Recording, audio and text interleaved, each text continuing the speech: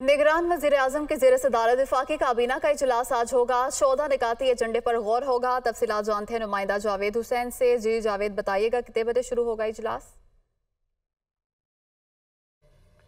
जी देखें, निगरान विफाकी काबीना का इजलास आज 11 बजे वजी अजम हाउस में होगा, जिसकी सदारत जो है वो निगरान वजी अजम अनवारुल्ला काकड़ करेंगे।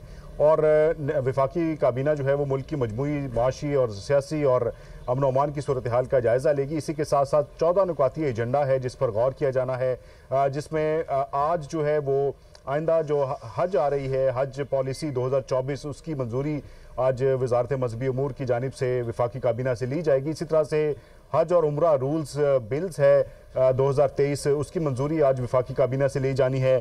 और इसी तरह से पाकिस्तान स्टील मिल्स की जो निजकारी है उससे मुतालिक भी एजेंडा शामिल है कि उसे निजकारी की फहरिस्त से निकाला जा रहा है। इस हवाले से विफाकी काबीना से मंजूरी ली जाएगी। इसी तरह से जो फ्लाई जना को बैन अवी जो रूट्स हैं एयर रूट्स हैं उनकी आ, उनके डेजिग्नेशन के हवाले से जो है वो आज विफाकी काबीना मंजूरी देगी।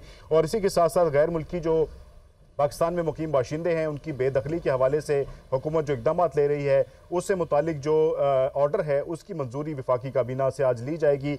और इसी के साथ साथ एफ़ आई ए और इंसदाद, इंसानी स्मगलिंग की जो चेक पोस्टें कायम की गई हैं, उससे मुतलिक जो पुलिस स्टेशन कायम किए जा रहे हैं उनकी मंजूरी और साथ ही साथ उन्हें रूल्स में शामिल किया जाएगा। इसकी भी मंजूरी आज विफाकी काबीना से ली जाएगी।